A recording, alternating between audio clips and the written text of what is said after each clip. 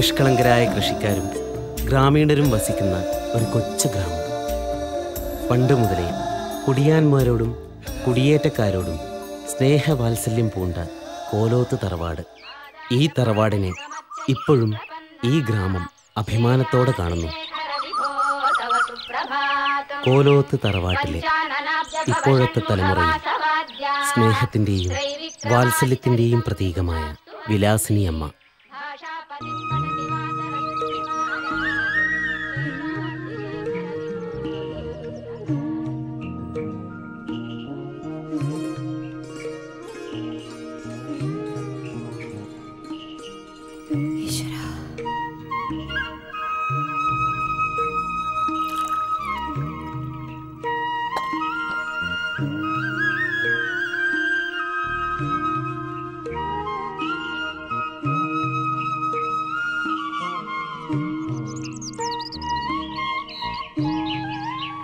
ഞാൻ മുറിയിൽ അന്വേഷിച്ചു. കണ്ടില്ല. ഇതെന്താ ഇവിടെ വന്നിരിക്കുന്നത്? ചായ.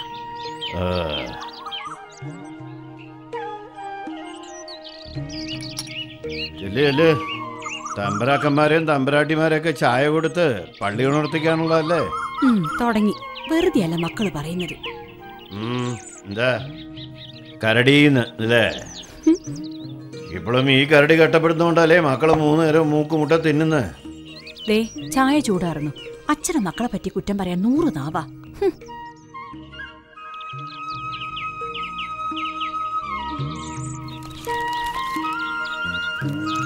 ഇത് ഇപ്പോഴത്തെ കാരണവരും ഗ്രാമവാസികളുടെ സ്നേഹനിധിയുമായ കുറുപ്പദ്ദേഹം.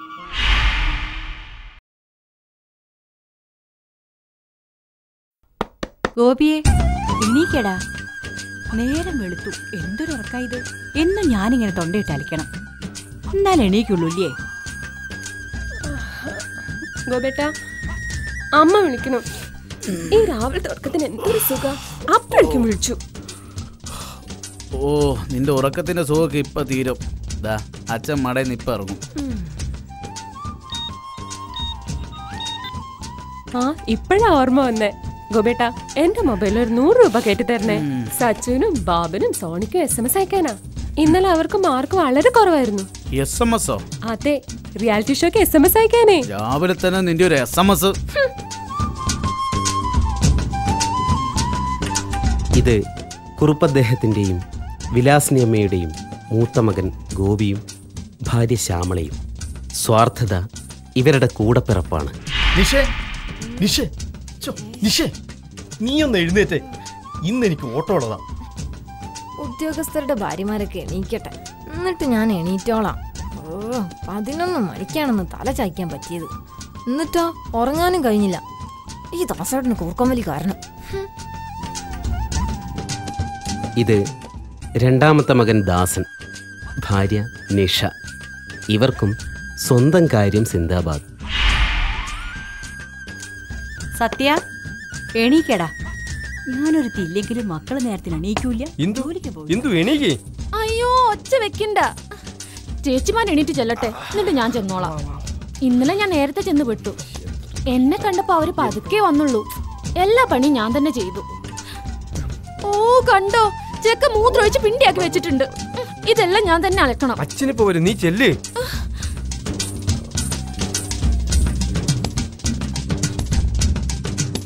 ഇത് മൂന്നാമത്തെയാൾ സത്യൻ ഭാര്യ ഇന്ദുവും. ഇവർ സ്വന്തം കാര്യം വിട്ട് കളിക്കാറേയില്ല. രമേശ. അയ്യോ പാവം. നാട് നന്നാക്കാൻ ഇറങ്ങിയ രാഷ്ട്രീയക്കാരനാ. എപ്പോ വന്ന് കിടന്നു ആവോ രമേശ എടാ രമേശ. അയ്യോ പോലീസ് പോലീസ്. തല്ലല്ലേ സാറേ എന്നെ തല്ലല്ലേ? എന്താടാ ഇത്? പോലീസോ? ഇത് ഞാനാ നിന്റെ അമ്മ. കണ്ണോർ നോക്കടാ. ഇതാ ചായ.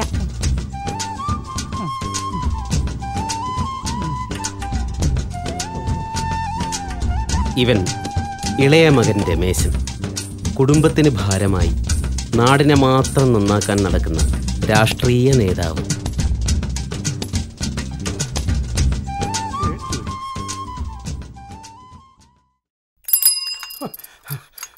എന്താ ശങ്കുണ്ണിയേട്ടാ എന്താ? എന്താ ഉണ്ടായേ? കുറുപ്പത്തില്ല ഇവിടെ? ആ. എന്താ ശങ്കുണ്ണിയെ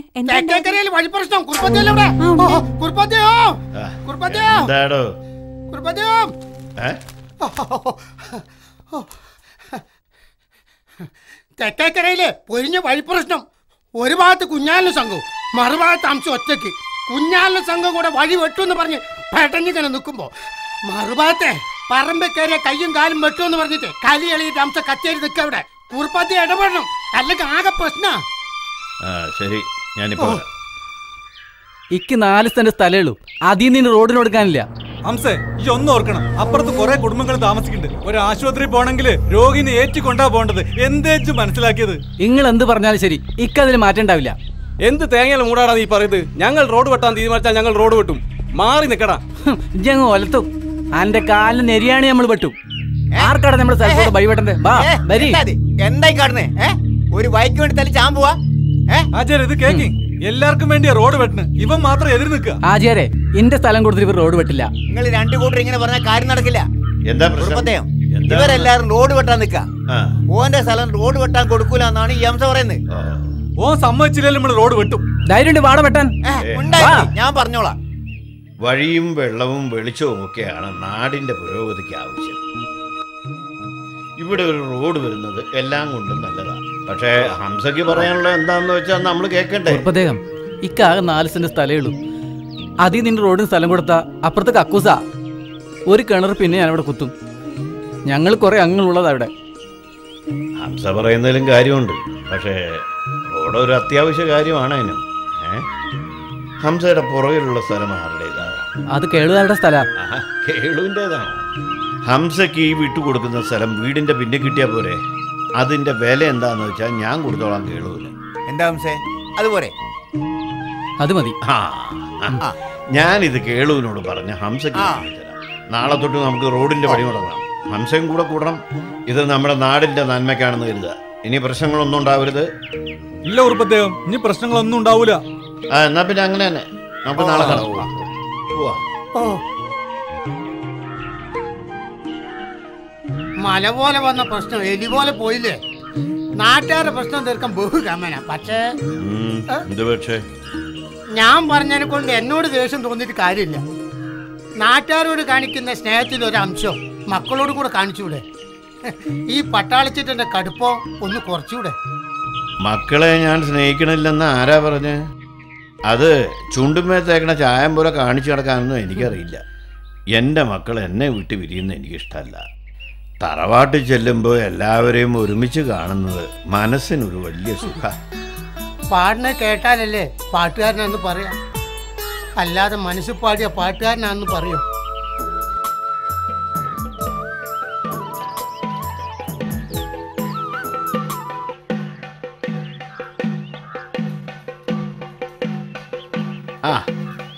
എല്ലാവരും ഉണ്ടല്ലോ. നമസ്കാരം. ഞങ്ങൾ കുറുപ്പദ്ദേഹത്തെ കാണാൻ അങ്ങോട്ട് വരാനിരിക്കുന്നു പറയടപ്പ് തുടങ്ങണ്ടേ. ഇപ്രാവശ്യത്തെ പറയെടുപ്പ് അവിടുത്തെ തറവാട്ടിൽ നിന്ന് തുടങ്ങുന്നത്. തുടക്കം ഐശ്വര്യ തറവാട്ടിൽ നിന്നാവണ്ടേ അതുകൊണ്ടാ ഓ. ശരി. ആ. ശരി.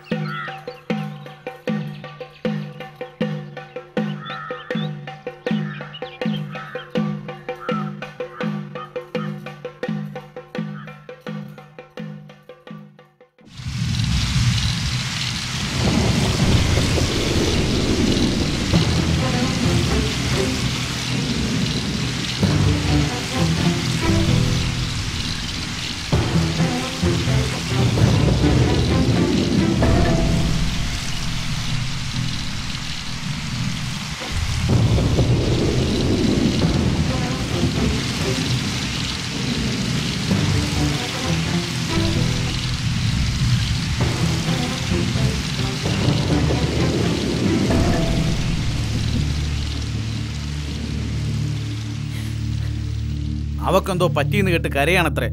അമ്മയ്ക്ക് എന്താ ഭ്രാന്ത് പിടിച്ചോ? ഈ കുടുംബത്തിന് അപമാനം വരുത്തി വെച്ച അവക്ക് വേണ്ടി കരയാൻ ഇല്ലേ ഇനി ഈ കുടുംബത്തിൽ ആരെങ്കിലും അവളുടെ പേര് പറഞ്ഞാ അപ്പൊ ഞങ്ങളുടെ സ്വഭാവം മാറും. അവൾ എന്റെ മോളാണ് മോളാണത്രേ മോൾ. അന്ന് കൊല്ലാൻ പറ്റിയില്ല രണ്ടെണ്ണത്തിനെയും. ഇപ്പൊ ഞങ്ങളുടെ മുമ്പിൽ പെട്ടാലും ഞങ്ങൾ ചെയ്യും. അതിനാരും തടുത്തിട്ട് കാര്യമില്ല. ഏട്ടാ വിടരുത് അവരെ. അവറ്റകൾ എവിടെയാണെങ്കിലും ശരിയാക്കണം. നിങ്ങൾ കത്തിയും കൊടുപാടൊന്നും എടുക്കണ്ട. എവിടെങ്കിലും ജീവിച്ചു പോയിക്കോട്ടെ. കാലത്ര കഴിഞ്ഞിട്ടും നിങ്ങളെ മനസ്സിലെ പകയ്ക്ക് ഒരു മാറ്റവും വന്നിട്ടില്ലല്ലോ.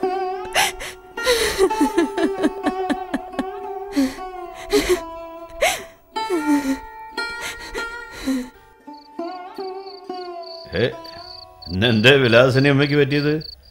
നേരത്തെ കയറി കടന്നല്ലോ. മകളെ ഓർത്തുപോയി അല്ലേ? മക്കൾ തെറ്റ് ചെയ്താലും രക്ഷിതാക്കളാണ് ക്ഷമിക്കുക? അങ്ങനെ ക്ഷമിക്കാവുന്ന തെറ്റാണോ അവൾ നമ്മളോട് ചെയ്തത്? ആണോ എന്ന്? ആറ്റുനോറ്റ് വളർത്തി സ്നേഹം വാരി കോരി കൊടുത്തു. എന്നിട്ട് എന്തുണ്ടായി? നമ്മളെയൊക്കെ വലിച്ചെറിഞ്ഞിട്ട് അവളെ ഏതോ ഒരു അന്യജാതിക്കാരന്റെ കൂടെ പോയില്ലേ? അവളെ വരുത്തി വെച്ച നമ്മുടെ മനസ്സിൽ മുറിവ് ഇനിയൊട്ട് ഉണങ്ങാനും പോകുന്നില്ല. പടിയടച്ച് പിണ്ണം വെച്ച അടഞ്ഞ അധ്യായം ഇനിയോട്ട് തുറന്നു വായിക്കാനും നിൽക്കണ്ട. തുറന്ന് വായിക്കണില്ല. പക്ഷെ ഒരു കാര്യം ഓർക്കണം. ഞാനൊരു അമ്മയാണ്. ഒരമ്മയുടെ വേദന മനസ്സിലാക്കണം.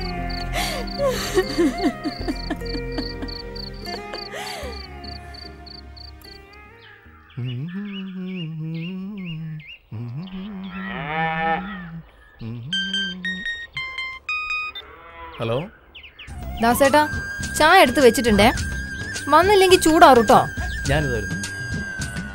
എന്താടാ? ചായക്ക് ചെല്ലാൻ പറഞ്ഞോ? അടുക്കളയിൽ നിന്ന് ഇവിടെ വരെ ഒന്ന് പറയാൻ വയ്യ അല്ലേ? ഹെറുതിയല്ല അച്ഛനോടൊന്ന് പറയുന്നത്.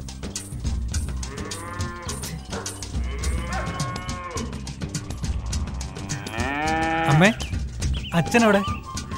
അച്ഛനും ചങ്കുണ്ണിയേട്ടനും ചെറുപ്പുളശ്ശേരിക്ക് പോയതാ. എന്താ? അമ്മേ എനിക്കൊരു നൂറ് രൂപ തരുമോ ഒരു സ്ഥലം വരെ പോവാനുണ്ട്. നീ ഇങ്ങനെ ചോദിക്കുമ്പോൾ ചോദിക്കുമ്പോൾ കാശ് എടുത്തു തരാൻ എന്റെ അടുത്ത് എവിടുന്നാ? വാ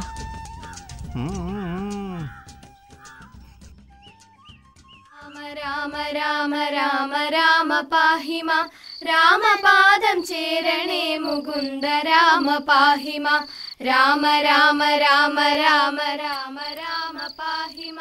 രാമപാദം ചേരണേ മുകുന്ദ രാമ പാഹി മാ രാമ രാമ രാമ രാമ രാമ രാമ ഇത്ര വൈകിയതെന്താ? രാമപാദം ഉച്ചയ്ക്ക് വരാന്ന് പറഞ്ഞല്ലേ പോയത്? വല്ലാതെ തളർന്നിരിക്കുന്നല്ലോ എന്താ പറ്റിയ? ഒന്നുമില്ല. ഒരു വയ്യായ.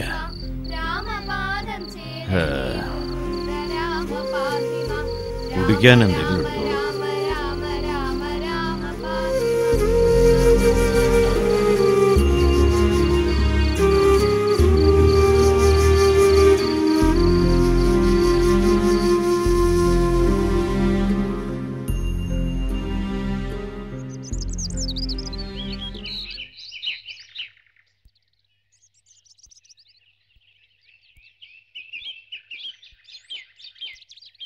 എന്തു പറ്റി?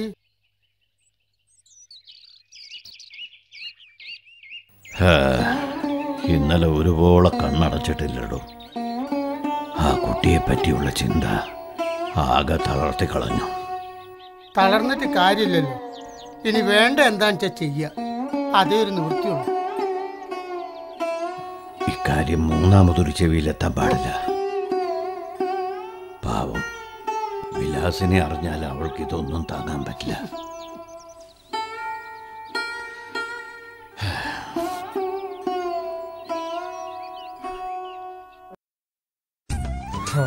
വണ്ടി നല്ല കണ്ടീഷനാ. അധികം ഓടി തേഞ്ഞിട്ടൊന്നുമില്ല ഇരുപത്തയ്യായിരം രൂപ അഡ്വാൻസ് കൊടുത്തിട്ടുണ്ട്. എല്ലാം കൂടി തട്ടിക്കൂട്ടിയ നമ്മുടെ കയ്യിൽ ഒരു അൻപതിനായിരം രൂപ കൂടി കാണും അല്ലേ? ആഹാ നമ്മുടെ പണം അവിടെ നിൽക്കട്ടെ. അച്ഛന്റെ അടുത്ത് പൂത്ത കാശുണ്ടല്ലോ അതും വാങ്ങും. അച്ഛനോട് എങ്ങനെ ചോദിക്കാന്നാ? ഓ അച്ഛനോടുള്ള സ്നേഹം. സത്യയുടെ മറ്റേ മൂന്ന് പേരെയും കണ്ടുപിടിക്കും. അവർക്ക് ഈ സിമ്പതിയൊന്നുമില്ലല്ലോ. മക്കൾ ആഗ്രഹം നടത്തി കൊടുക്കാറുള്ളത് അച്ഛന്മാരെന്നെയാ പിന്നെ ഇത് അവരാരും അറിയണ്ട. അവർക്കൊക്കെ എന്തെങ്കിലും ആവശ്യങ്ങൾ കാണും. അപ്പോ അച്ഛനോട് ചോദിക്കാല്ലേ?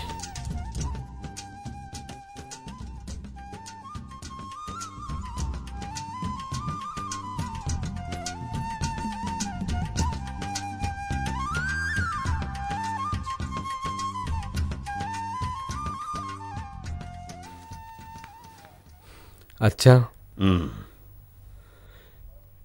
ഞങ്ങളുടെ ഓഫീസിൽ എല്ലാവർക്കും കാറുണ്ട്. എനിക്ക് മാത്രം ഇല്ലാത്തതുള്ളൂ. അതിന്? ഞാനൊരു കാറ് നോക്കി വെച്ചിട്ടുണ്ട്. ഓ. അതിന് ഒരു ലക്ഷം രൂപ വേണം. ഒരു ലക്ഷം രൂപയോ? എന്താ ഇയാൾ എന്റെ അടുത്ത് പറഞ്ഞ് ഏൽപ്പിച്ചിട്ടുണ്ടോ ചോദിക്കുമ്പോ എടുത്തു തരാൻ? ഇക്കണ്ട മുതലൊക്കെ ഞാൻ കഷ്ടപ്പെട്ടുണ്ടാക്കിയതാ. ഹോ മക്കളൊക്കെ ഉദ്യോഗസ്ഥരാ പക്ഷെ പറഞ്ഞിട്ടെന്താ കാര്യം? എന്തെങ്കിലും ഗുണമുണ്ടായിട്ടുണ്ടോ നിങ്ങളെ കൊണ്ട് കുടുംബത്തിന്? കിട്ടുന്ന കാശ് ധൂർത്തടിച്ച് കളയല്ലാണ്ട് കുടുംബത്തിന് എന്തെങ്കിലും തരുണ്ടോ? അതുകൊണ്ട് ധൂർത്തടിയൊക്കെ നിർത്തി സ്വന്തമായിട്ട് അധ്വാനിച്ച് കാശ് ഉണ്ടാക്കി കാറ് മേടിച്ചാൽ മതി. കടന്നു പാടുക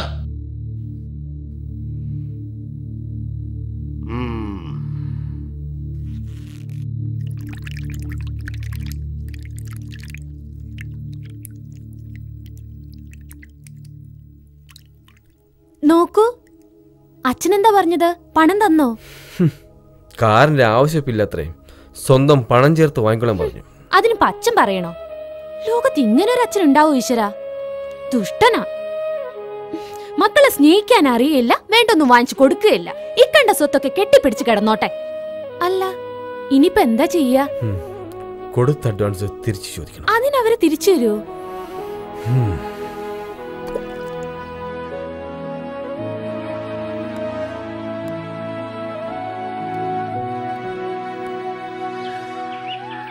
എന്താ നീ ഇങ്ങനെ ആലോചിച്ചോണ്ടിരിക്കുന്നേ? ചെറിയച്ച അച്ഛനോട് കാറ് വാങ്ങിക്കാൻ പറഞ്ഞു. അച്ഛൻ കൂട്ടാക്കണില്ല. ഒരു സെക്കൻഡ് ഹാൻഡ് കാറിന് അഡ്വാൻസ് കൊടുത്തിട്ടുണ്ട്. അതിനി തിരിച്ചു കിട്ടുമില്ല അച്ഛന്റെ സ്വഭാവം നിനക്കറിയില്ലേ? നിങ്ങൾ ആവശ്യപ്പെടുന്ന എന്തും ഈ ചെറിയച്ഛൻ മേടിച്ചു തരും. മോൻ വിഷമിക്കണ്ട. നമുക്ക് പഴയ കാറ് വേണ്ട. പുതിയതൊരെണ്ണം നാളെ പോയി വാങ്ങാം. മോ സമാധാനമായിട്ടിരിക്കേ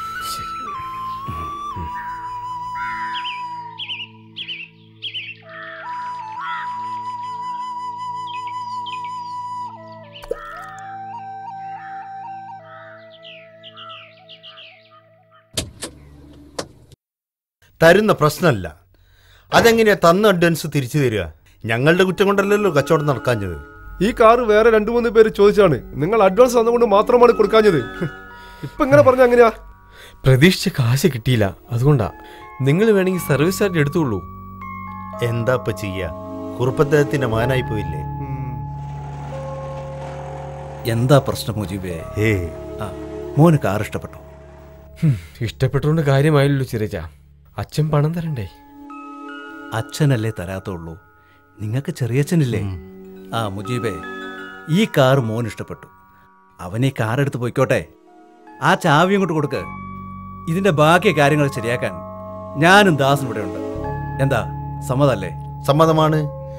നിങ്ങൾ പറഞ്ഞ പിന്നെ അതിനൊരു അപ്പീലും ഇല്ല. സത്യ എന്തായാലും ഇങ്ങനെ ഒരു ചെറിയച്ഛനെ കിട്ടിയ നിന്റെ ഭാഗ്യമാ.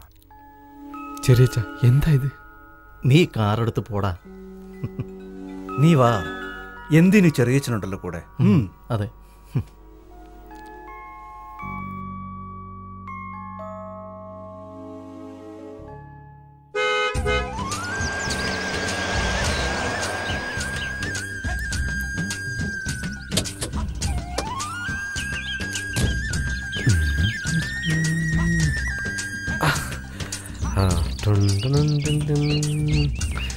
അമ്മേ ഞാൻ കാർ വാങ്ങി.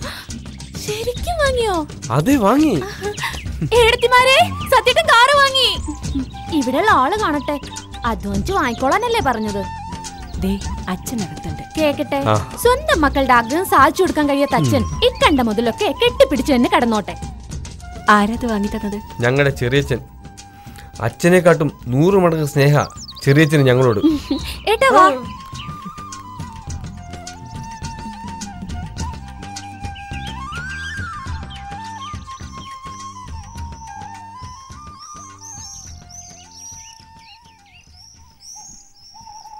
മരുന്നടിച്ചതിന് ശേഷം പാലിന് വല്ല മാറ്റമുണ്ടോ ഗോപാല? നല്ല മാറ്റമുണ്ട് കുറുപ്പദ്ദേഹം ഏട്ടാ എന്തിനാ മക്കളോട് ഇങ്ങനെ കർക്കശം കാണിക്കുന്നത് കുറച്ചെങ്കിലും സ്നേഹം കാണിച്ചൂടെ. അന്യ തറവാട്ടിലെ കുട്ടികളില്ലേ ഇവിടെ? എടാ അവരെല്ലാവരും സമ്പാദിക്കുന്നവരാ. പക്ഷെ പറഞ്ഞിട്ട് എന്താ കാര്യം? നാളേക്ക് വേണ്ടി എന്തെങ്കിലും കരുതുന്നുണ്ടോ അവർ? കിട്ടുന്ന പൈസ മുഴുവൻ ധൂർത്തടിച്ചു കളയുക ഗോപിക്കും ദാസനും പെൺമക്കളാ. നാളെ അവരെ ഇറക്കി വിടണ്ടേ? അതിനെപ്പറ്റി ചിന്തിക്കുന്നുണ്ടോ അവർ? മക്കൾ അങ്ങനെയാണെന്ന് വെച്ചാൽ വന്ന മരുമക്കൾ അതിലും കേമം ഞാനിങ്ങനെ വാതോരാതെ പറയുന്നത് അവർ നന്നാവാൻ വേണ്ടിയിട്ടാണ്. കുറേ അങ്ങനെ അങ്ങോട്ട് പറയുമ്പോൾ എന്നോടൊരു വെറുപ്പും വാശിയൊക്കെ ഉണ്ടാകും. ആ വാശിയിൽ അവർ നന്നാവും ചിലപ്പോൾ അതിന് വേണ്ടിയിട്ട് ഞാൻ പറയുന്നതാ. അല്ലാതെ അവരോട് ദേഷ്യമൊന്നും എനിക്കില്ല. ഇന്ന് ശങ്കുണ്ണി വന്നില്ലേ? അയാൾ ആ പാടത്തുണ്ടാവും. ഒന്ന് ഇവിടം വരെ വരാൻ പറയൂ. ശരി.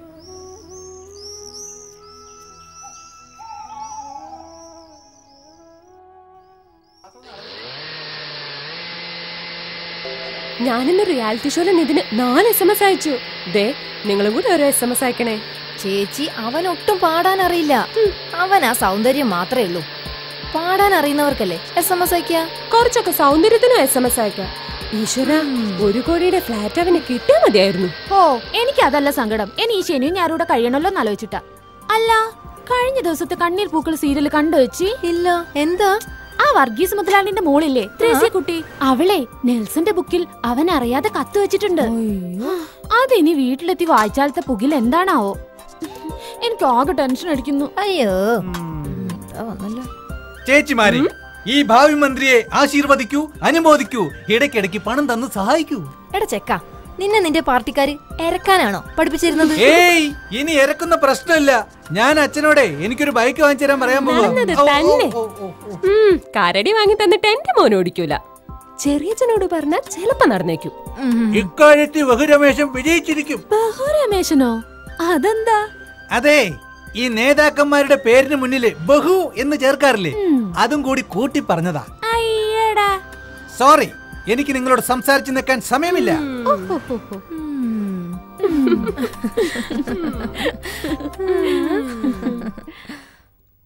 അനുരാഗ വിലോചനായി ആരാ അത് രമേശനാ? ഏ ഇയാളൊന്നും ഇങ്ങോട്ട് വരിക. ഇയാളെ കണ്ടിട്ട് കുറെ കാലമായല്ലോ. ഏ? ഞാൻ ഇവിടെ തന്നെ ഉണ്ടച്ചാ ആ നീ ആ കുട്ടിക്കിടം വക്കീലിനെ പോയി കണ്ടുവാ പോയി പക്ഷെ കണ്ടില്ല. അയാളെ വീട്ടിൽ കണ്ടില്ലെങ്കിൽ ചെന്ന് ഓഫീസിൽ കാണണം. കേസ് എന്നാ അവധിക്ക് വെച്ചെന്ന് അറിയണ്ടേ? അതിനിവിടെ ഇങ്ങനെ നിന്നാ മതിയോ? ഇതേ എന്റെ മാത്രം ആവശ്യമല്ല ഈ കുടുംബത്തിന്റെ കൂടെയാ. ഒരു ബൈക്ക് ഉണ്ടായിരുന്നെങ്കിൽ എത്ര നാളായി ഞാൻ പറയുന്നു? ഓ ബൈക്ക്? എന്തിനാ ബൈക്കാക്കുന്ന വിമാനായിക്കോട്ടെ നിനക്ക് നിന്റെ നേതാക്കന്മാർക്ക് ഊരി ചുറ്റാലോ ഒരു രാഷ്ട്രീയക്കാരൻ വന്നേക്കണം. എടാ ആദ്യം സ്വയം നന്നാവാൻ നോക്ക്. എന്നിട്ട് നാട് നന്നാക്ക്. അല്ലെങ്കിൽ നാട് നന്നാവില്ല നീ നന്നാവില്ല. എടാ പത്തിരുപത്തഞ്ച് വയസ്സായില്ലേ? നല്ലൊരു ഡിഗ്രി സമ്പാദിച്ചിട്ടുണ്ടല്ലോ. ഒരു ജോലിയൊക്കെ നേടി കുടുംബമൊക്കെ ആയി നന്നായിട്ട് ജീവിക്കാൻ നോക്ക്. എന്നിട്ട് ബൈക്കോ കാളവണ്ടിയോ എന്ത് വേണമെങ്കിലും മേടിക്ക്. ഇപ്പൊ നീ ഞാൻ പറഞ്ഞ കാര്യം ചെയ്യ്. ആ പിന്നെ ഊണ് കഴിക്കാൻ മറക്കണ്ട. അതെങ്കിലും കൃത്യമായിട്ട് നടക്കട്ടെ. ജീവിതം പരമസുഖം. പത്താഴം വെറും ചാക്കി കൂത്തും അമ്മ വയ്ക്കും ഞാൻ ഉണ്ണും. അല്ലേ അല്ലേ വേട്ടെ അച്ഛന്റെ ചൊറിഞ്ഞ വർത്തമാനം കേൾക്കുമ്പോ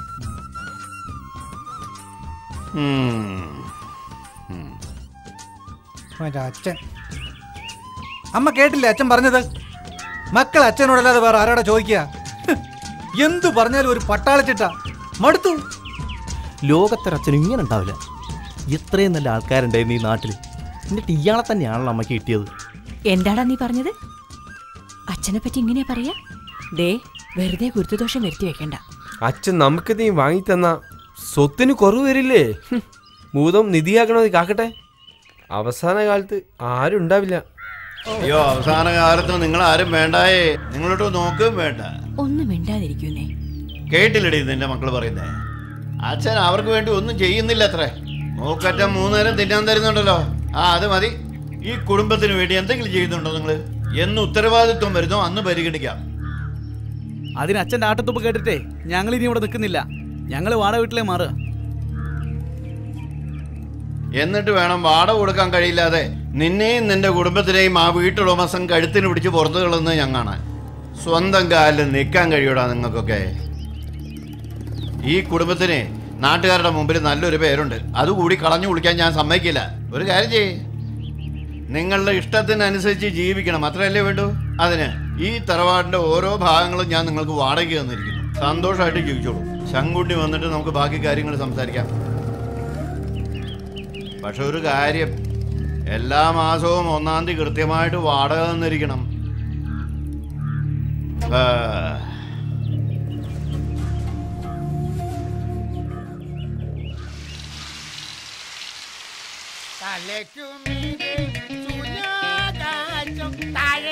എല്ലാരും എവിടെ പോയി കിടക്കാണ്? എന്ത്?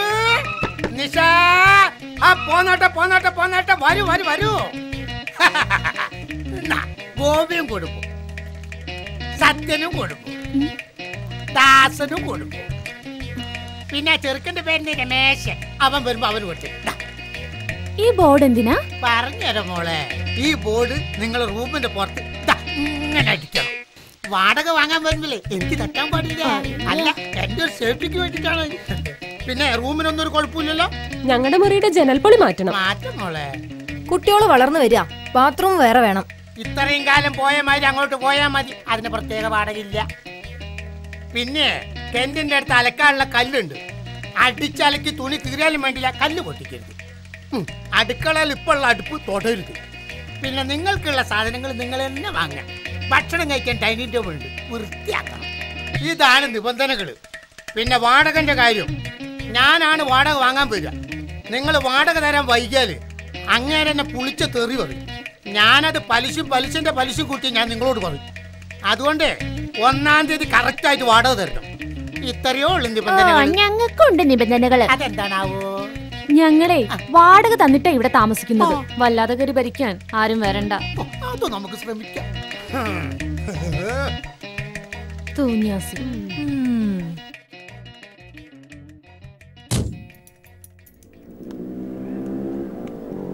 എടാ സത്യ ഇതൊന്ന് കയറി പിടിക്കടാ.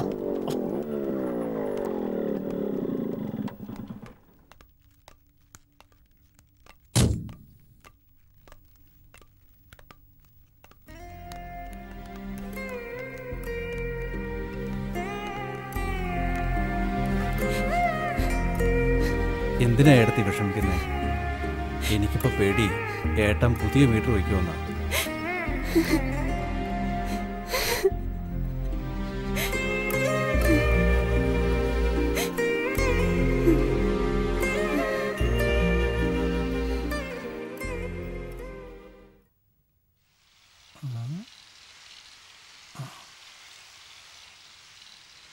ഏടത്തിമാരെ ഏടത്തിമാരെ വരുന്നുണ്ട്. ഉറക്ക വെച്ചോ ഉറക്ക വെച്ചോ ഉറക്കേ. ഞാനുണ്ട്. ഒരു വെണ്ണിൽ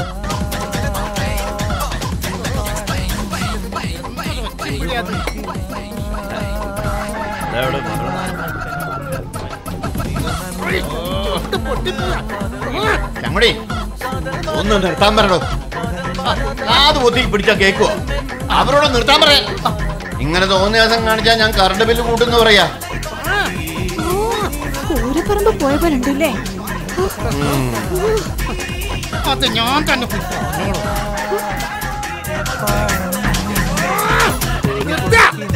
നിർത്താൻ പറഞ്ഞു കേട്ടില്ലേ ആരാ അവിടെ പൊട്ടന്മാരില്ലേ? നിർത്താ. അല്ല ആർക്കും അവിടെ കാതി വെക്കാത്ത ഇവിടെ നിങ്ങളുടെ കാതിന്റെ കോട്ട അറിഞ്ഞോ ഞങ്ങൾ വാടക താമസിക്കുന്നവരല്ലേ അപ്പൊ ഇഷ്ടമുള്ള പോലെ ജീവിക്കും. ആയിക്കോട്ടെ മോളെ ആയിക്കോട്ടെ മോളെ. ഇതുവരെ ബില്ലിന്റെ ചാർജ് എടുത്തിട്ടില്ല. ഇനി അത്. ചോദിക്കാം.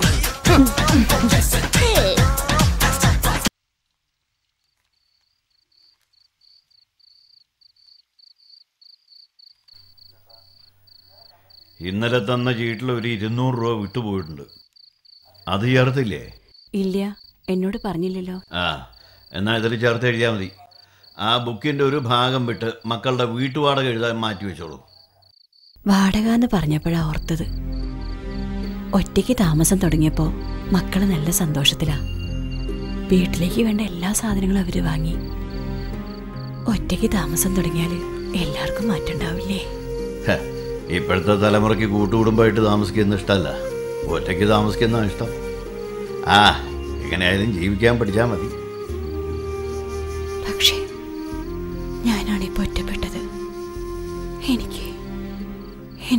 ആരുമില്ലാത്ത പോലെയായി. എനിക്കറിയാം നിന്റെ വിഷമം. നിനക്ക് സഹായത്തിന് ഞാനൊരു കുട്ടി അന്വേഷിക്കുന്നുണ്ട്.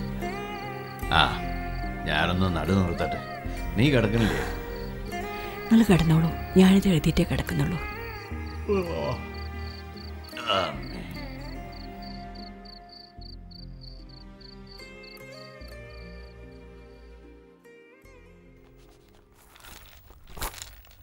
ചേച്ചിക്ക് എന്താ കൂട്ടാൻ?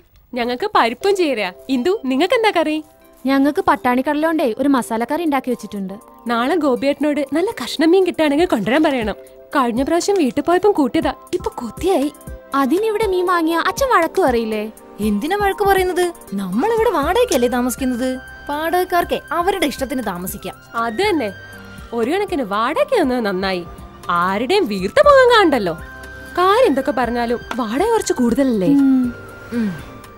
ഇനി രമേശന്റെ കല്യാണം കൂടി ആയാൽ നമുക്ക് എല്ലാവർക്കും വേറെ വീട് വെച്ച് മാറായിരുന്നു. അതൊന്നും അടുത്ത കാലത്ത് നടക്കൂല മോളെ. അച്ഛൻ പണം തന്നിട്ട് നിങ്ങൾ ആരും വീട് വെക്കില്ല.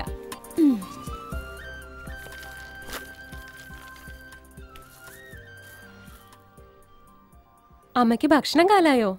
ഇല്ല.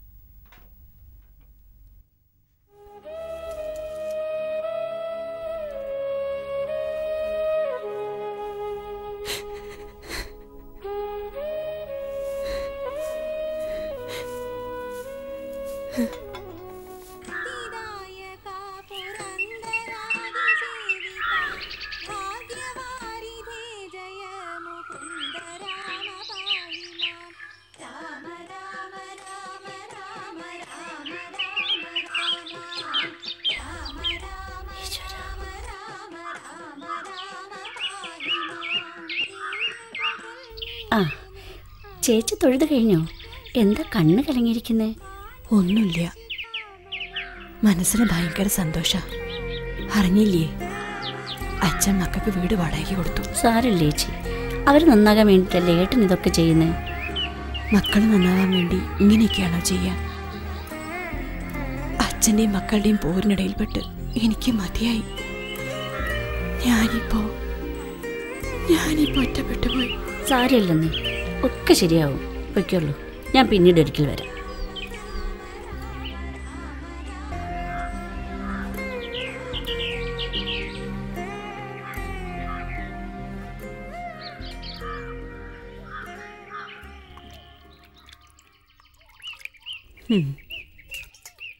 അച്ഛമ്മേ അമ്പലത്തിൽ പോയപ്പോ ഞങ്ങളെയും കൂടി വിളിച്ചുവിടായിരുന്നോ? അടുത്ത പ്രാവശ്യം പോകുമ്പോ കൊണ്ടുപോവാട്ടോ.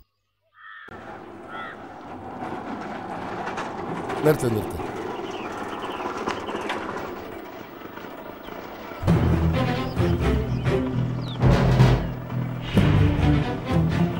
കുറുപ്പ് അദ്ദേഹത്തിന്റെ വീടല്ലേ? അതെ.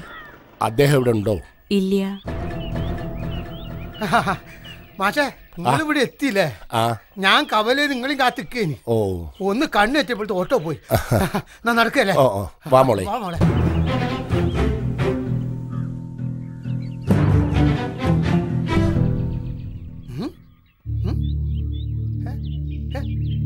എന്താണ് എല്ലാരും ഇങ്ങനെ മിഴിച്ചിക്കണ് ഓഹോ ഇതാരാണെന്നല്ലേ? ഇതാണ് സുകന്യ. വിലാസനമ്മക്ക് സഹായത്തിന് ഒരു കുട്ടി വേണമെന്ന് പറഞ്ഞില്ലേ? അതിന് കുറുപ്പാത്തിയ നേരിട്ട് അയച്ച കുട്ടീനെ. എന്നാലേ കുട്ടീനും കുട്ടി അകത്തേ പോയിക്കോളൂ. എന്നിട്ട് അവക്ക് വേണ്ട കാര്യങ്ങളൊക്കെ പറഞ്ഞു കൊടുക്ക്. ചെല്ലു.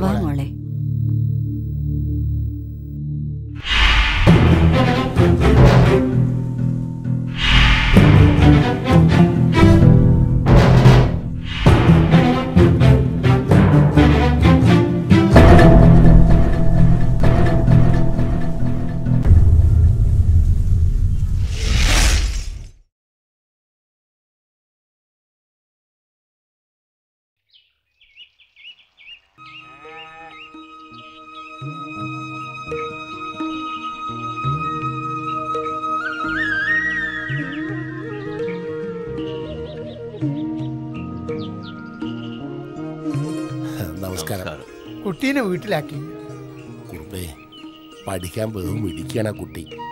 എല്ലാ ക്ലാസ്സിലും റാങ്ക് വാങ്ങിയ കുട്ടിയാണ് അവൾ. നിങ്ങൾ അവളെ പഠിപ്പിക്കുമെന്നുള്ള വിശ്വാസത്തിലാണ് അവൾ ഇവിടെ ജോലിക്ക് വന്നിട്ടുള്ളത്. അവളെ ഞാൻ പഠിപ്പിക്കും.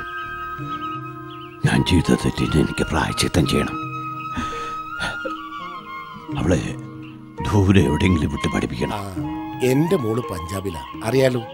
ഈ കുട്ടിക്ക് നല്ല റാങ്ക് ഉള്ളതുകൊണ്ട് അവിടെ സീറ്റ് കിട്ടാൻ ഒരു ബുദ്ധിമുട്ടുണ്ടാവില്ല. ഞാനൊന്ന് ശ്രമിച്ചാലോ? ശ്രമിച്ചു നോക്കും മാഷെ. അതാ ഒന്നും കൂടി നല്ലത്. ഇവളുടെ സർട്ടിഫിക്കറ്റും മറ്റു കാര്യങ്ങളും ഓർഫനേജിലുണ്ട്. ഞാൻ അതിന്റെ കോപ്പി എടുത്ത് മകൾക്കൊന്ന് അയച്ചു കൊടുക്കട്ടെ. അവളുടെ വിവരം വന്നാൽ ഉടനെ ഞാൻ ഇങ്ങോട്ട് വരാം. അങ്ങനെയാവട്ടെ മാഷേ. എന്നാ ശരി. ഓ ശരി.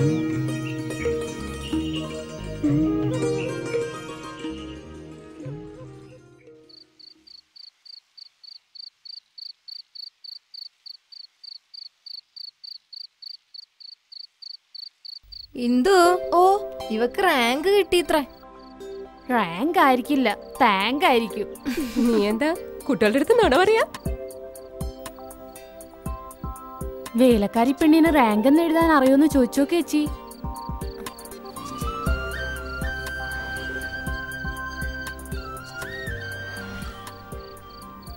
കുട്ടിയെ അവർ പേടിപ്പിച്ചോ? അവരൊന്നും വാടകക്കാരല്ല. ഞങ്ങളെ മക്കൾ തന്നെയാ മക്കൾക്ക് ഉത്തരവാദിത്തം വരാൻ വേണ്ടി അച്ഛൻ മക്കൾക്ക് തന്നെ വീട് വാടകയ്ക്ക് കൊടുത്തതാ. ആ ദേഷ്യ കുട്ടിയോട് കാണിക്കുന്നത്. മോളൊന്നും വിചാരിക്കണ്ട. പോയി കടന്നോളൂ. അമ്മേ.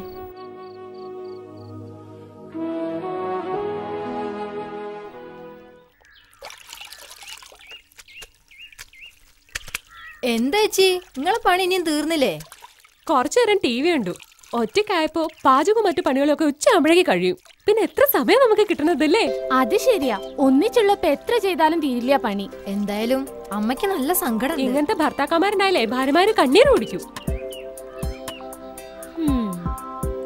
എടി നിന്റെ പേരെന്താ? സുകന്യ.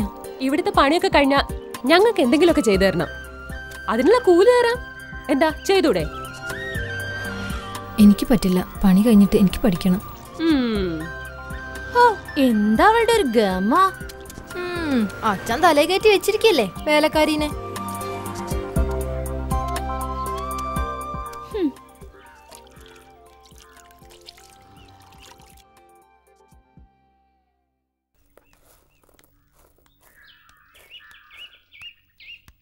ആ ഇതാരാ?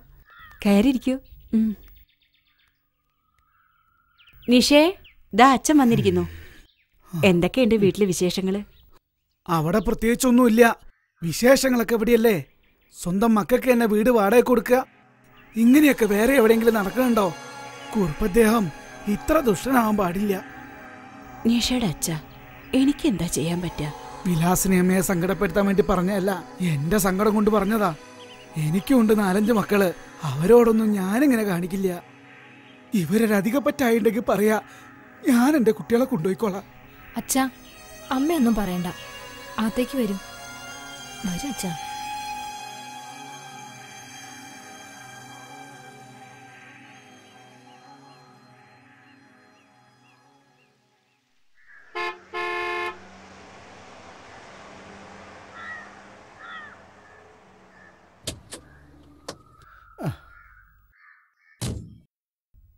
ഇങ്ങോട്ട് വന്നോളൂ എന്റെ മേലേക്ക് ചാഞ്ഞോളൂ. ആ, ശങ്കുണ്ണി എനിക്ക് അത്രയ്ക്ക് വലിയ അസുഖമൊന്നുമില്ലടോ. എന്നെ ഒരു രോഗിയാക്കുകയാണെന്ന് നിങ്ങൾ എല്ലാവരും കൂടി. സൂചി അടിച്ച് കയറ്റിയത്. അതിന്റെ ക്ഷീണം കാണൂലേ? അച്ഛാ എനിക്ക് വണ്ടി ഓടി വാടക വേണം. മോനെ എന്താ നീ ചോദിച്ചത്? അതെ അമ്മേ എനിക്കിങ്ങനെ ഓടിക്കിട്ടിട്ട് വേണം എന്റെ വീട്ടു വാടകയും കുടുംബ ചെലവൊക്കെ നടത്താൻ. മെടുക്കൻ എന്തിനാണ് നീ കരയുന്നേ ഇപ്പോഴാ നീ എന്റെ മകനായത്. ഉം. പണം എടുത്തു കൊടുക്ക.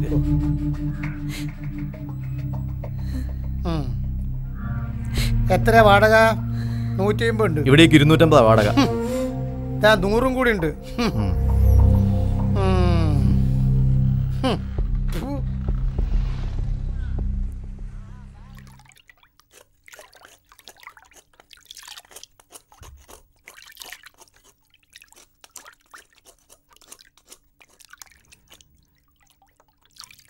ഈ പോക്ക് പോയാ ആ പെണ്ണിവിടെ ഭരിക്കും. അത് ശരിയാ. അച്ഛന് സ്വന്തം മക്കളെ കണ്ടൂടാ എവിടുന്നോ വന്നോളോട് എന്തൊരു സ്നേഹ. അതന്നെ. എങ്ങനെയെങ്കിലും അവളെ ഇവിടുന്ന് ഓടിക്കണം. അതിനൊരു ബുദ്ധി പറയും. എവിടെയാ എല്ലാരും? എടുത്തി വരെ എടുത്തി. ഒന്നിങ്ങ് വരൂ. ആ വേലക്കാരി പെണ്ണോട് നിസ്കരിക്കുന്നു. വാ. നിസ്കരിക്കേ. സുഗന്യ നിസ്കരിക്കേ. വാ നമുക്ക് നോക്കാം.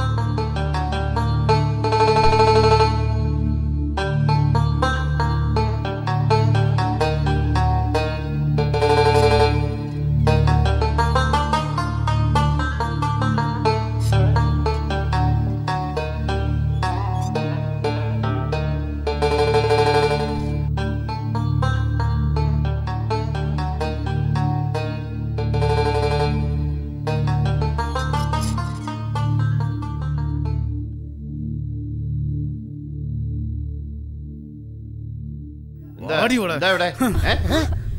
എവിടെ നിന്നോ കേറി വന്ന ഇവളെ? ആരെന്തോ എന്തെന്നോ നോക്കാതെയല്ലേ ഇവിടെ കയറ്റി താമസിപ്പിച്ചത്?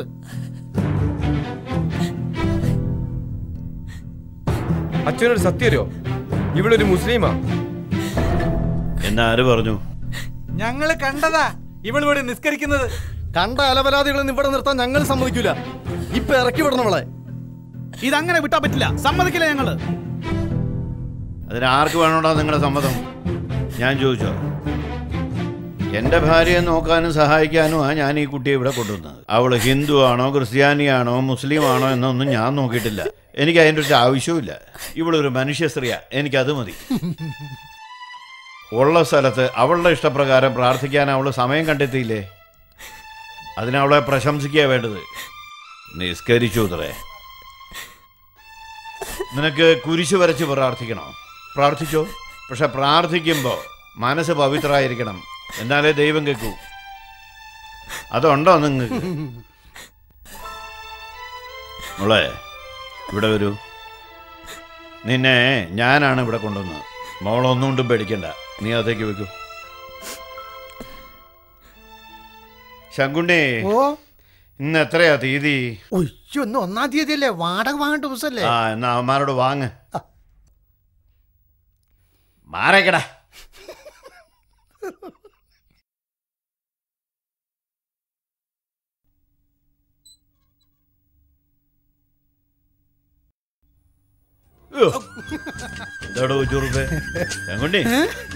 നേതാവിന്റെ അടുത്ത് പൈസ ഇല്ല വാടക തരാൻ. വാടക വാടകയ്ക്ക് താമസിക്കാൻ വലിയ വാശിയായിരുന്നല്ലോ.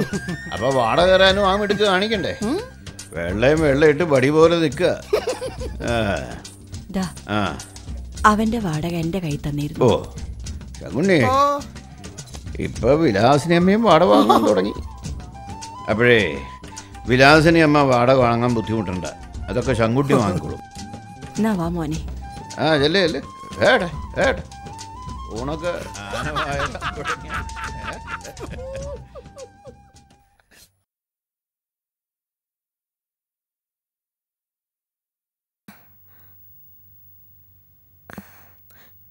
ഞാൻ എല്ലാ പണിയും കഴിഞ്ഞിട്ടാ പഠിക്കുന്നത്. അത് സാരില്ല.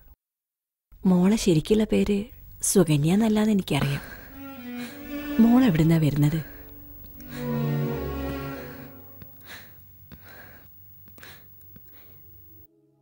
എന്റെ ശരിക്കുള്ള പേര് ലെനാന്ന. ഞാനൊരു അനാഥയാ. മൂന്ന് മാസം മുമ്പ് ഒരു അപകടത്തിൽപ്പെട്ട് എന്റെ ഉമ്മയും പാപ്പയും മരിച്ചു. ഇപ്പം ഞാനൊരു ഓർഫണേജിലാ. ഇവിടുത്തെ അച്ഛൻ പഠിപ്പിക്കാന്ന് പറഞ്ഞു വിളിച്ചോണ്ടാ ഞാനിവിടെ ജോലിക്ക് വന്നത്. എനിക്ക് പഠിക്കണം. അതെന്റെ ഒരു ആഗ്രഹം. എന്നെ പഠിപ്പിക്കോ? മോൾ കരയണ്ട ഇവിടുത്തെ അച്ഛനോട് മോളെ പഠിപ്പിക്കാൻ ഞാൻ പറയാം. ഇനി ഇവിടുത്തെ പകുതി പണി ഞാൻ കൂടെ ചെയ്തോളാം. ബാക്കി നേരം കുട്ടി പഠിച്ചോളൂ.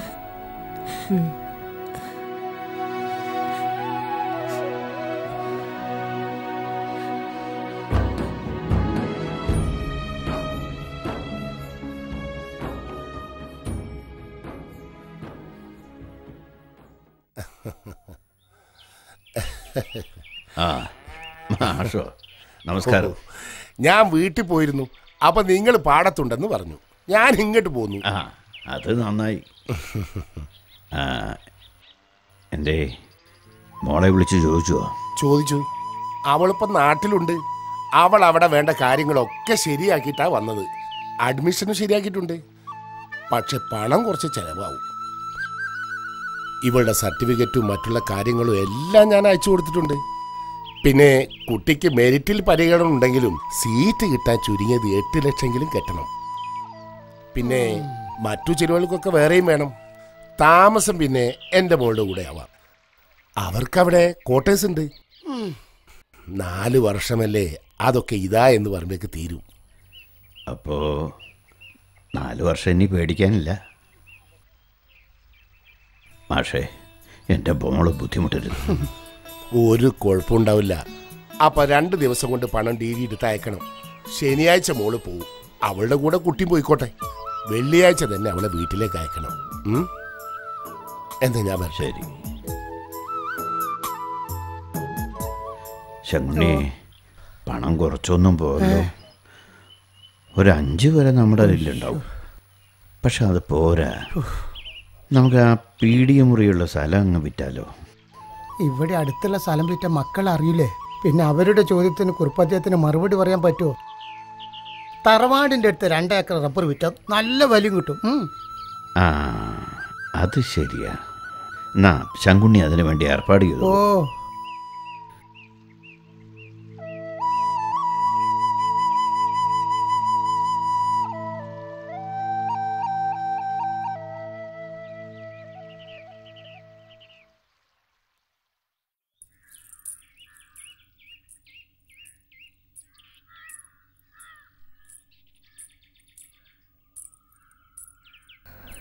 അച്ഛ ഞാൻ പോവാ.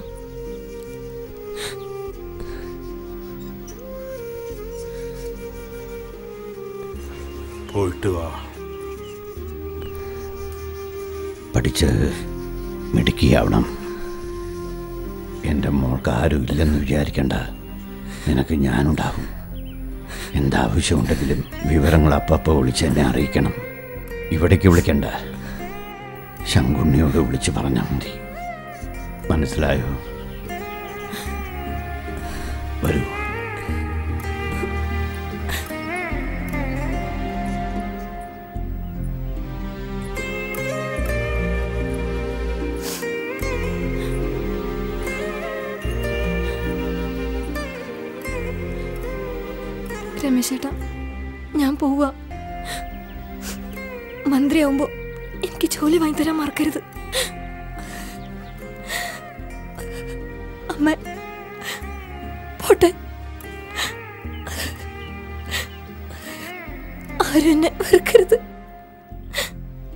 നടന്നോളൂ വണ്ടി പുറത്തുണ്ട്.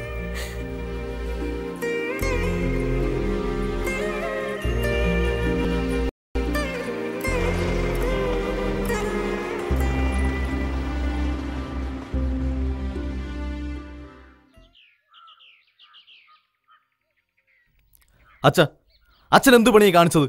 സ്ഥലം വിറ്റത് ഞങ്ങൾ അറിയില്ലെന്ന് വിചാരിച്ചോ? എന്താ ദാസ? അച്ഛൻ നമ്മളറിയാതെ തറവാടിന്റെ അവിടെയുള്ള ആ റബ്ബർ തോട്ടം വിറ്റു. ഇരുപത്തെട്ട് ലക്ഷം മുടക്കിയിട്ടാ ആ വേലക്കാരി പെണ്ണിനെ പഠിപ്പിക്കാൻ വിട്ടിരിക്കുന്നത് അതെ. ഞങ്ങൾക്കറിയണം അച്ഛനും ആ പെണ്ണും തമ്മിലുള്ള ബന്ധം. എന്നെ ചോദ്യം ചെയ്യാൻ മാത്രം വളർന്നോ നിങ്ങൾ?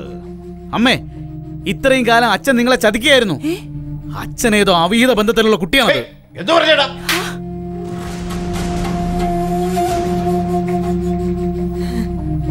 ഞാൻ കേട്ടത് സത്യമാണോ?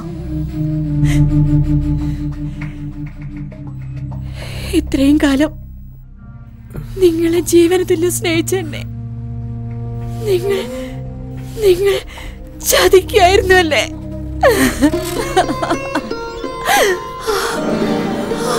അമ്മേ അമ്മേ അമ്മേ അമ്മേ അമ്മേ അമ്മേ വണ്ടി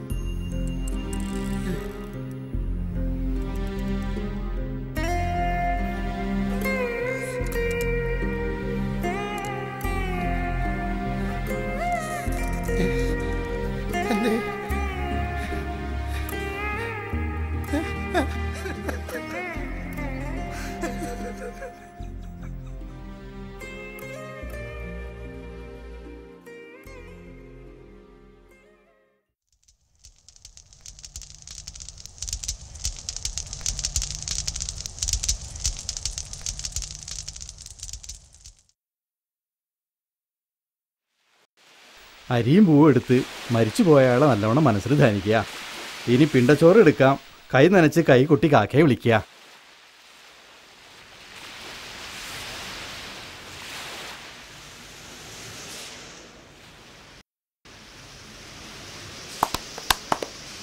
കടലിലിറങ്ങി പൂയിച്ച പൂവും ഇലയും നമസ്കരിച്ച് മിന്നിലേക്ക് ഇടുക.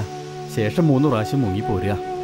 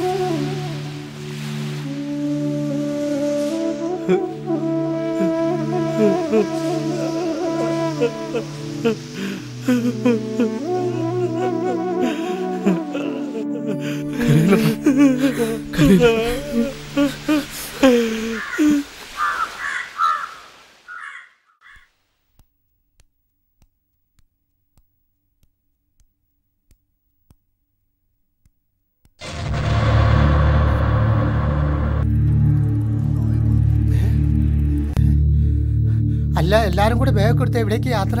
ഞങ്ങൾ എല്ലാവരും ഈ വീട് വിട്ടിറങ്ങ. അമ്മയില്ലാത്ത ഈ വീട്ടിലേക്ക് ഞങ്ങളില്ല. അച്ഛന്റെ വൃത്തികേട് താങ്ങാൻ പറ്റാതെ നെഞ്ചു പൊട്ടിയാ ഞങ്ങളുടെ അമ്മ മരിച്ചത്. ഞങ്ങളുടെ ഞങ്ങളുടെ അമ്മയെ കൊന്നത് അച്ഛനാ. എവിടെ നിന്നോ വലിഞ്ഞു കയറി വന്ന വേലക്കാരിക്ക് വേണ്ടി ലക്ഷങ്ങൾ ചെലവാക്കാൻ കഴിയുമല്ലോ അച്ഛന്? ശങ്കുടി മാമ ഞങ്ങൾക്ക് ഞങ്ങളുടെ ഓഹരി ഭാഗം വേണം. വാ പോവാം മക്കളെ നിങ്ങൾ പോരുത് മക്കളെ. നിങ്ങൾ പോയാൽ അമ്മയുടെ ആത്മാവിന് ശാന്തി കിട്ടൂല. ദയവ് ശങ്കുണ്ണിമാൻ പറയുന്നു കേൾക്കി. പോകരുത് മക്കളെ നിങ്ങൾ പോകരുത്.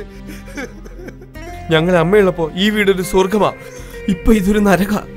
ശങ്കടിയമ്മ ഞങ്ങൾ പോവാ. പോകല്ല മക്കളെ. പോകല്ല കുഞ്ഞോളെ.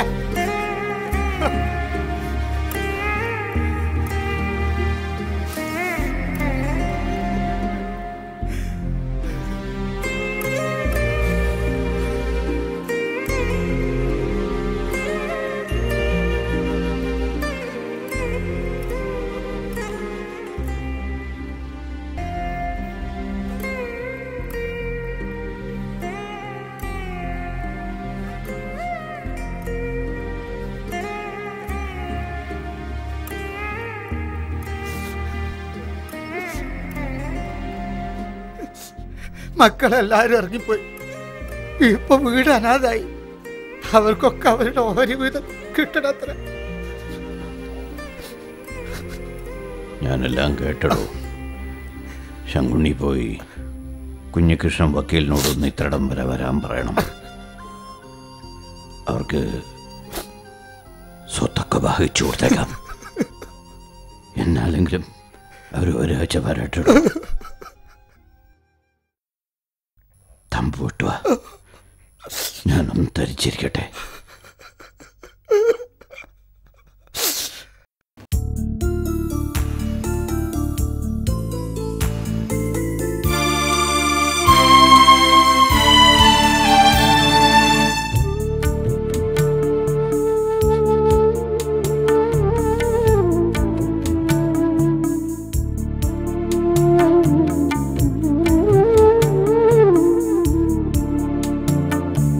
ചിറകറ്റു വീഴുന്ന സ്വപ്നങ്ങളെ എന്റെ ഇട ഇടനെഞ്ചിലെരിയുന്ന മോഹങ്ങളെ. ചിറകറ്റു വീഴുന്ന സ്വപ്നങ്ങളെ എന്റെ ഇട ഇടനെഞ്ചിലെരിയുന്ന മോഹങ്ങളെ. കൊഴിയുന്നു മാനസവീതിയിൽ ഞാൻ നട്ട പൂമരക്കൊമ്പിലെ പാഴ്ക്കിനാവും. കൊഴിയുന്നു മാനസവീതിയിൽ ഞാൻ നട്ട പൂമരക്കൊമ്പിലെ പാഴ്ക്കിനാവും. രാവിന്റെ ശോകമായി രാക്കിളി കൂട്ടിലിന്നന്യനായി കേഴുന്നു മൂകമായി. അന്യനായി കേഴുന്നു മൂകമായി. ചിറകറ്റു വീഴുന്ന സ്വപ്നങ്ങളെ എന്റെ ഇടനെഞ്ചിലെരിയുന്ന മോഹങ്ങളെ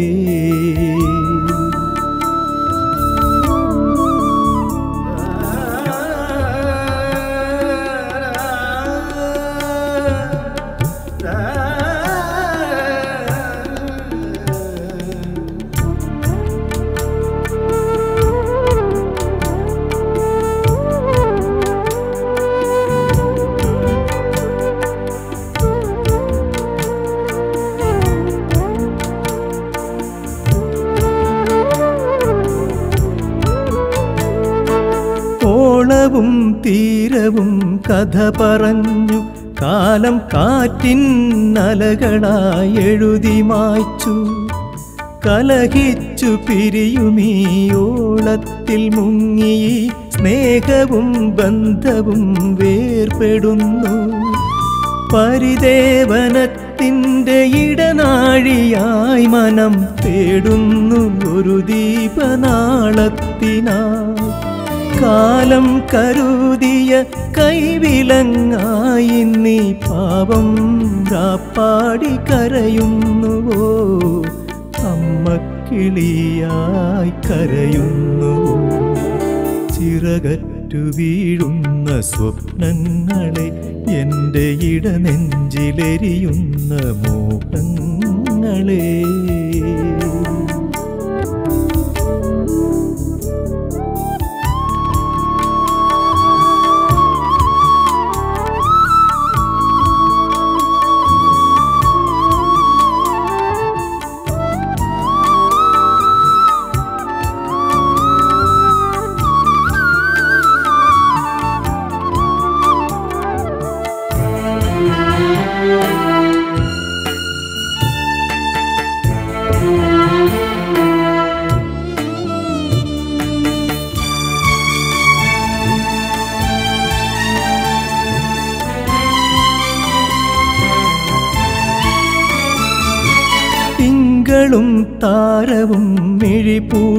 മണ്ണിൽ അന്ധകാരത്തിൻ ചിതയൊരുക്കി വിലപിച്ചു വീതിയിൽ വീണടിഞ്ഞൻ പ്രിയ എങ്ങോ കൽഹാരമായി മറഞ്ഞു.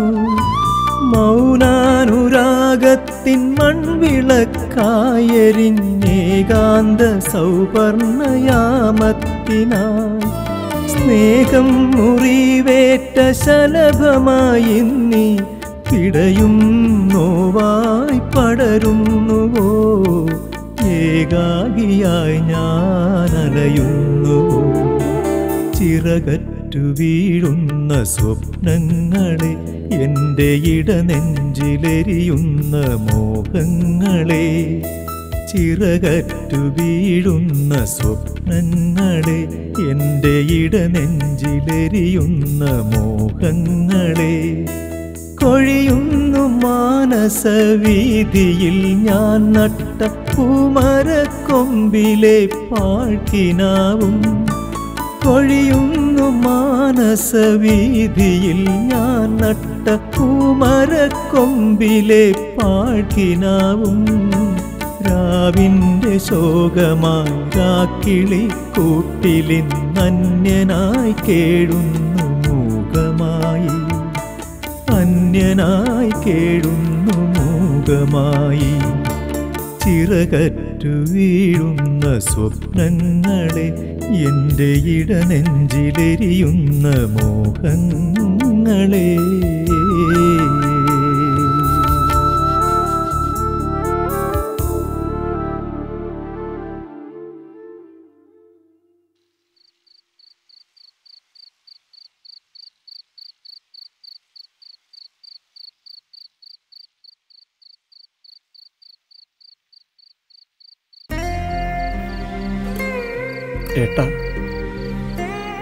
മക്കളെല്ലാവരും എന്റെ വീട്ടിലുണ്ട്. അവർക്ക് അച്ഛൻ വേണ്ടത്രേ. ഈ ചെറിയച്ഛൻ മതിയെന്ന് ഏട്ടൻ മക്കളെ പറക്കാൻ പഠിപ്പിച്ചിട്ട് ഏട്ടന്റെ ചിറകൊടിഞ്ഞില്ലേ? ഇപ്പോ കൂട്ടിനാരുമില്ലാതെ തനിച്ചായില്ലേ? മക്കളില്ലാത്ത എനിക്ക് മക്കളെ തന്നിട്ട് എന്റെ ഏട്ടൻ അനാഥനായല്ലോ. സന്തോഷായി. അവരുടെ രക്ഷിതാവ് ഇനി മുതൽ നീയാണ് ചെല്ല്. ശങ്കുണ്ണിയും വക്കീലും ഇന്നങ്ങോട്ട് വരും.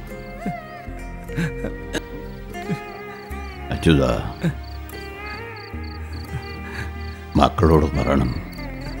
ഈ അച്ഛൻ അവരെ സ്നേഹിച്ചിരുന്നെന്ന്.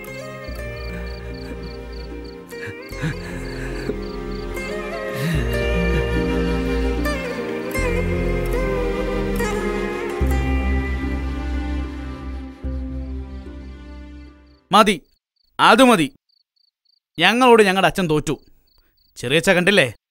അച്ഛന്റെ വാശി ഞങ്ങൾക്കുണ്ട്.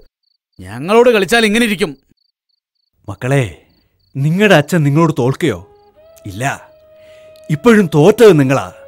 നിങ്ങൾ ആവശ്യപ്പെടുമ്പോഴൊക്കെ കാറും ജീപ്പും ബൈക്കും നിങ്ങളുടെ ഓരോരോ ആവശ്യങ്ങൾ നിറവേറ്റാൻ എന്റെ അടുത്ത് എവിടുന്നാ പണം? ഒക്കെ നിങ്ങളുടെ അച്ഛൻ എന്നെ കൊണ്ട് ചെയ്യിക്കുകയായിരുന്നു നിങ്ങളുടെ ഓരോ ആഗ്രഹങ്ങളും നിറവേറ്റിയത് ഞാനല്ല. നിങ്ങളുടെ അച്ഛനാണ്. ഇതൊക്കെ എന്തിനാ എന്നെ കൊണ്ട് ചെയ്യിച്ചെന്നറിയോ മക്കളില്ലാത്ത ഞങ്ങൾക്ക് സ്വന്തം മക്കളെ തന്നതാണ് എന്റെ ഏട്ടൻ. വയസ്സുകാലത്ത് ഞങ്ങൾ ഒറ്റപ്പെടാതിരിക്കാൻ നിങ്ങളുടെയൊക്കെ സ്നേഹം ഞങ്ങൾക്ക് കിട്ടാൻ. എന്നാ തുടങ്ങാം. തറവാട് നിൽക്കുന്ന അഞ്ചേക്കർ കരഭൂമി. നിങ്ങൾക്ക് നാലു പേർക്കും വീട് വയ്ക്കാൻ തുല്യമായി വിധിച്ചു വെച്ചിട്ടുണ്ട്. മറ്റു സ്വത്തുക്കളായ പാടങ്ങൾ തോട്ടങ്ങൾ പി ഡി എ റൂമുകളെല്ലാം നാലു പേർക്കും തുല്യമായി ഭാഗിച്ചു വെച്ചിട്ടുണ്ട്. ഇതിന്റെ അതിരുകളൊക്കെ ഞാൻ വന്ന് കാണിച്ചു തരാം. പിന്നെ നിങ്ങളുടെ കയ്യിൽ നിന്ന് വാടകയായി വാങ്ങിയ പണം മുഴുവൻ നിങ്ങളുടെ മക്കളുടെ പേരിൽ ബാങ്കിൽ ഡിപ്പോസിറ്റ് ചെയ്തിട്ടുണ്ട്. ഇതതിന്റെ പാസ്ബുക്ക്. പിന്നെ തറവാടും അതിനോട് ചേർന്ന ഒരേക്കർ സ്ഥലവും ലെന എന്ന ആളുടെ പേരിൽ രജിസ്ട്രേഷൻ ചെയ്തിട്ടുണ്ട്. ആരാ ശങ്കുനിയമ്മ അത് ആദ്യം സുകന്യായിരുന്നു ഇപ്പൊ ഒരു ലെന? സുകന്യ തന്നെയാ ലെന. ആ കുട്ടി ഒരു മുസ്ലിം കുട്ടിയാ. ആ കുട്ടിയും അച്ഛനും തമ്മിൽ? ഈ കാര്യങ്ങളൊന്നും മൂന്നാമതൊരു ചെവിയും അറിയരുതെന്ന് പറഞ്ഞതാ. ഇനി അത് മറിച്ചിട്ട് കാര്യമില്ല. നിങ്ങൾ പറഞ്ഞില്ലേ അച്ഛന്റെ ജാരസന്തതിയാണെന്ന് ആ കുട്ടി അച്ഛന്റെ സന്തതി തന്നെയാണ് പക്ഷെ ജാരസന്തതിയല്ല പണ്ട് അന്യജാതിക്കാരന്റെ കൂടെ ഓടിപ്പോയൊരു ചേച്ചിയില്ലേ? ആ ചേച്ചിയുടെ മകളാണ് ലെന. മകൾക്ക് അപകടം പറ്റിയെന്ന് അറിഞ്ഞപ്പം ഒരമ്മയുടെ ഹൃദയം പൊട്ടി തകർന്നില്ലേ? അപ്പം നിങ്ങൾ പകമൂത്ത് കത്തിയും കൊടിയോളായിട്ട് ചേച്ചിയും ഭർത്താവിനെ കൊല്ലാനായിരുന്നില്ലേ നിങ്ങൾ പ്ലാന് പക്ഷേ നിങ്ങളുടെ അമ്മയുടെ സങ്കടം അച്ഛൻ മനസ്സിലാക്കി. ഞങ്ങൾ ചെറുപ്പുളശ്ശേരിക്ക് എന്ന് പറഞ്ഞു പോയത് അവരെ അന്വേഷിക്കാനാ. അന്വേഷിച്ച് ചെന്നപ്പോഴേക്കും എല്ലാം കഴിഞ്ഞിരുന്നു. അപകടത്തിൽ ചേച്ചിയും ഭർത്താവും മരിച്ചു. അവർക്കൊരു കുട്ടിയുണ്ട്. അവളെ കാണാനില്ല എന്ന് അറിഞ്ഞപ്പോ ദിവസങ്ങളോളം ആ മനുഷ്യൻ ഉറങ്ങിയിട്ടില്ലായിരുന്നു. പിന്നെ അവൾ ഈ രത്തികാനിൽ കണ്ടെത്തിയായിരുന്നു. ഏട്ടത്തിന്റെ കുട്ടിയാണെന്ന് പറഞ്ഞ് അവളെ കൊണ്ട് കയറ്റി കഴിഞ്ഞാൽ കൊത്തിപ്പറക്കില്ല നിങ്ങളെല്ലാവരും. അങ്ങനെയാണ് അവൾ ഒരു വേലക്കാരിയായി ഇവിടെ കൊണ്ടുവന്നത്. മക്കളെ അച്ഛൻ നിങ്ങൾ ഒരുപാട് സ്നേഹിച്ചു. അത് പുറത്ത് കാട്ടാൻ അയാൾക്ക് അറിയില്ലായിരുന്നു. നിങ്ങൾക്ക് വീട് വാടകയ്ക്ക് തന്നെ അച്ഛനെ വിട്ട് നിങ്ങൾ പോകാതിരിക്കാൻ വേണ്ടിയാ. ചെല്ലി ആ മനുഷ്യന്റെ കാൽ പിടിച്ച് മാപ്പ് പറയും. എന്നാലും നിങ്ങൾക്ക് മോശം കിട്ടും. ചെല്ലി എല്ലാവരും ചെല്ലി ചെല്ലി.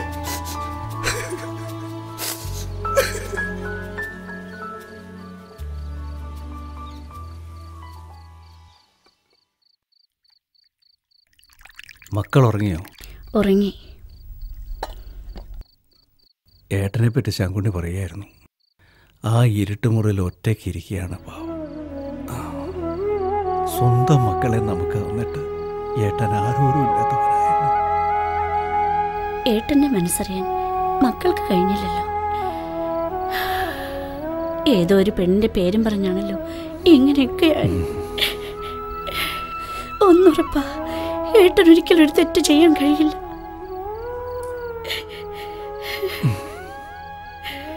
എന്റെ ജീവിതം അതിനൊരു തെളിവാ. മരണത്തിൽ നിന്ന് എന്നെ ജീവിതത്തിലേക്ക് നയിച്ച ആ വലിയ മനുഷ്യന്റെ മനസ്സ് നമ്മൾ അറിഞ്ഞതല്ലേ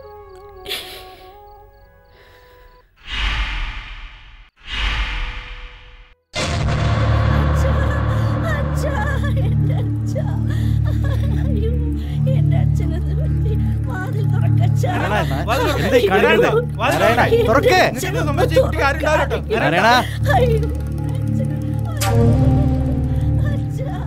ശ്രീകുളം തുറന്നുകൊണ്ട് ചെക്കന്റെ വീട്ടുകാർ പോയി. നാരായണ താഴത്തെ ഒരു വാതിലടച്ച്? തുറക്കണില്ല. നാരായണ. നാരായണ വാതിലോർക്ക് എന്തിനു നമുക്ക് പരിഹാരം ഉണ്ടാക്കാം? വാതിലോർക്കാൻ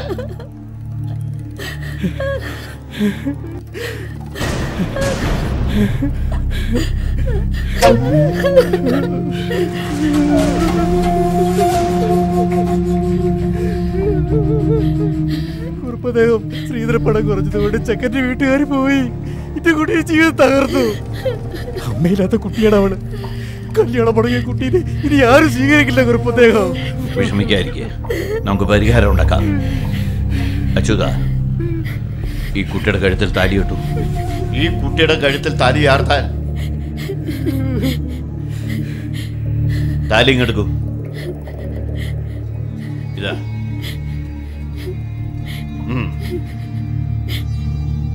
നിർത്ത്. ഏട്ടാ ഏട്ടന് ഭ്രാന്ത് പിടിച്ചോ. വലിയ തറവാട്ടുകാരായ നമ്മൾ താഴ്ന്ന ജാതിയിൽപ്പെട്ട ഒരാളെ താലിയാർത്ത് അത് പറ്റില്ല. അനിയ ഈ കുടുംബത്തെ രക്ഷിക്കാൻ ഇതേ ഒരു മാർഗമുള്ളൂ. താഴ്ന്ന ജാതിക്കാരൻ എന്നൊരു ജാതി ഇല്ല. എല്ലാവരും മനുഷ്യരാണ്. ഏട്ടന്റെ കമ്മ്യൂണിസം നമ്മുടെ തറവാട്ടിൽ നടക്കില്ല. ഈ പെണ്ണിനെങ്ങാനും ചെറിയേട്ടൻ കല്യാണം കഴിച്ചാ പിന്നെ നിങ്ങളാരും തെക്കേക്കര തറവാട്ടിൽ കാലുത്താൻ പാടില്ല. വാടാ. തറവാടിന് പേര് ദോഷം വരുത്തിയിട്ട് വല്ലവരും അങ്ങോട്ട് വന്ന? ഈ കാലി ഞങ്ങൾ വെട്ടും. നീ താലി ആർത്തടാ.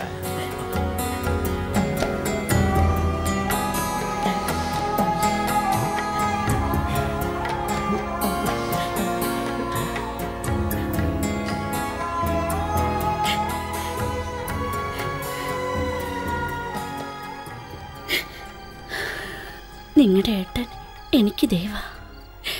എന്റെ ഏട്ടനെ. ഇങ്ങനെയൊക്കെ വന്നല്ലോ ഈശ്വര.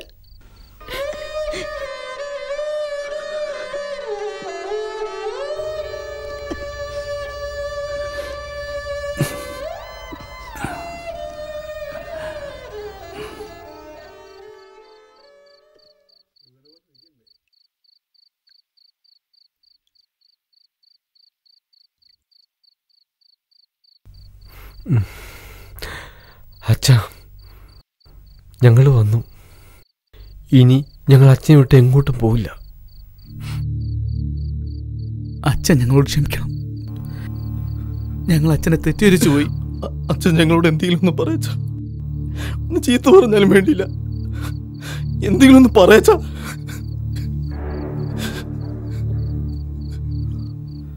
അച്ഛാ. അച്ഛാ. അച്ഛാ. അച്ഛാ. അച്ഛാ. 하자 하자. 하자 하자 하자 하자. 하자 하자 하자